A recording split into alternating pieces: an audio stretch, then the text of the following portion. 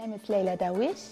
I'm the current art teacher for middle and upper school at um, Avanti Hall in Exeter. Hello, I'm Mrs Marshall and I'm the art and design teacher here at Avanti Fields. My name is Miss Devalia and I am the head of art at Avanti. We have a really positive, encouraging environment where we believe that all children can do well in art as a way of expressing themselves. Art actually is one of the really successful subjects we teach at the school. We had um, this year GCSE results in art and design which were 38% above the national average. They're highly creative, our kids who come here, and they really enjoy it. They have loads of fun doing art. I teach fine art, drawing, painting, um, pottery, sculpture, um, and then I teach digital art and photography as well. We will incorporate the, the things that they learn in year seven and eight, and then we will make them think like an artist, look at an artist, um, start writing as well, because in GCSE art, you've got a lot of analysis to do.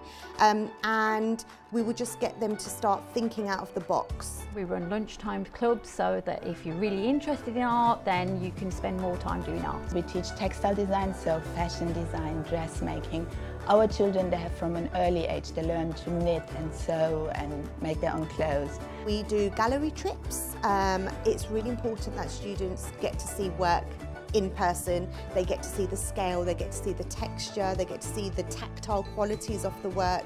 Um, but also it's really nice for them to get out and see how work can be showcased. We also have um, visiting artists who come into our school and who will do workshops one-to-one -one with the students.